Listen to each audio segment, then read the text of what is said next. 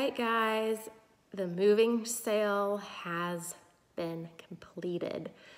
I did not get a chance to take a video during the sale because it was absolutely insane.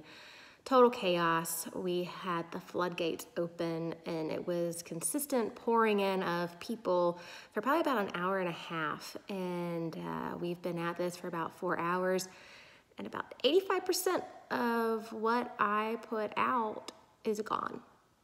All the furniture, the only furniture things that we still have are Jocelyn's uh, elephant chair and her bookshelf.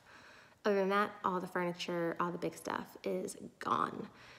What's left is the little things that uh, people just didn't didn't you know fall in love with and they're still hanging out here. So now I get to process through that and figure out what to do with it. But man I am so grateful and was not prepared for all of our stuff to be gone today. Whoa. So I promised that I did take a shower. I know I probably look the exact same as I did last night but uh, surviving this moving sale is a win for me so I'm gonna go kick up my feet and sit for a second and process what on earth just happened.